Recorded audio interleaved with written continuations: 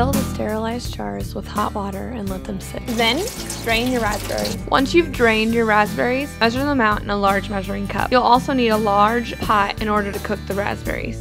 I use the jellies.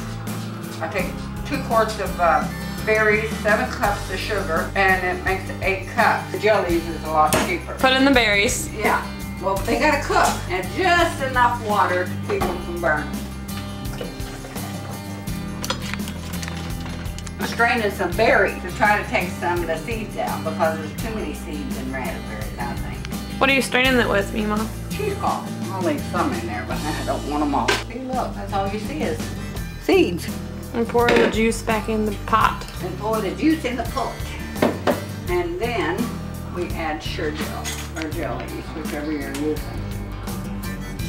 Bring this to a boil. And you slowly add sugar. Make sure you have it all measured out. Because you gotta add it. How many slowly. cups is it? This is seven cups.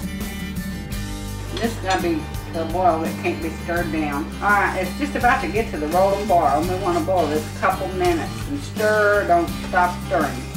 We will have the bottom burnt when I get through with the jam and stuff.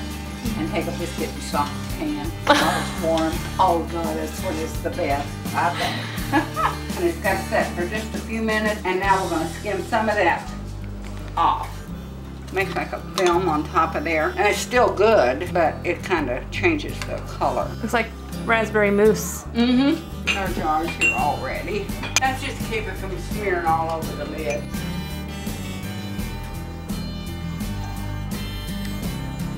Look at that, perfect. Yeah, aren't we good? Mema skims this off the top of her preserves because it's like a foamy filter. And Deanna eats it. All good. we did. The finished product.